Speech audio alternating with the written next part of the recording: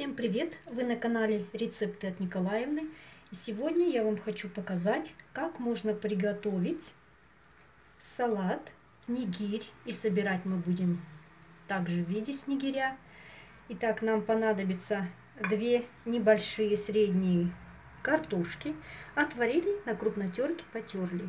Грудиночка 400 грамм, мелко порезали. Лук красный если же это маленькая головка, мелко режем, маринуем. Если же у вас крупная, значит только берем половиночку. Два средних помидора режем небольшими квадратиками.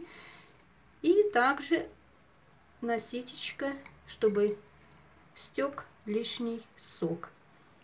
Банка черных оливок без косточки. Делим оливки на 4 части. Это для украшения.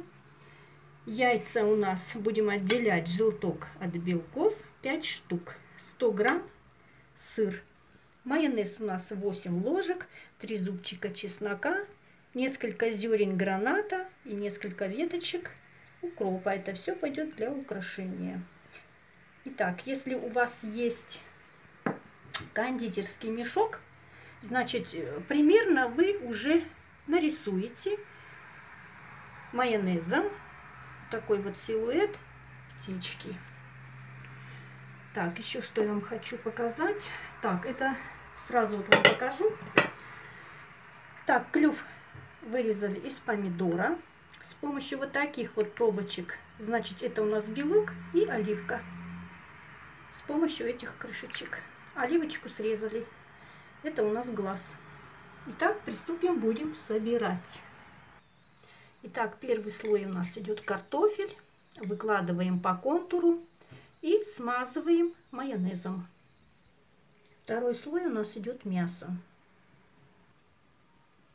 Работайте в перчатках, не бойтесь. Все это хорошенечко форму вот так вот руками, пальчиками так все это поправляйте. И у вас все получится. Сейчас будем смазывать майонезом.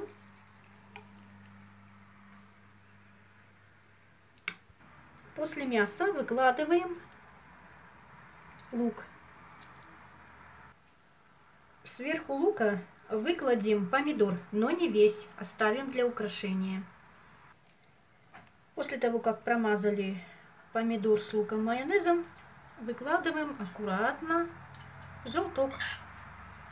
Слегка желток промазали майонезом, сделали такую небольшую сеточку и размазали. Сейчас покроем сыром.